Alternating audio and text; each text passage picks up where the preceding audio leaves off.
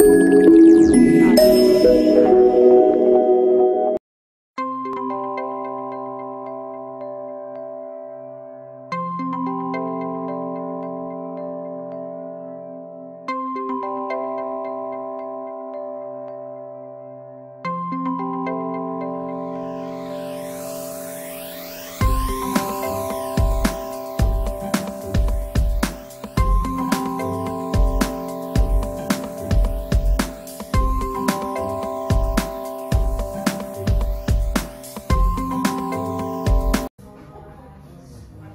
안녕하세요. 저는 K-팝 작곡가로 활동하고 있는 Nomasgood이라고 합니다.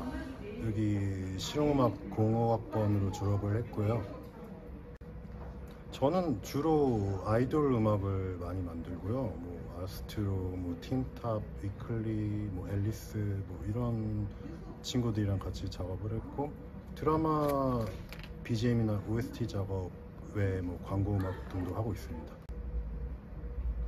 일단은 제가 다니던 건물이 아니라서 좀 낯설긴 한데 어, 오랜만에 오니까 진짜 너무 어, 기분이 좋고 학생들도 너무 예쁘고 좋습니다.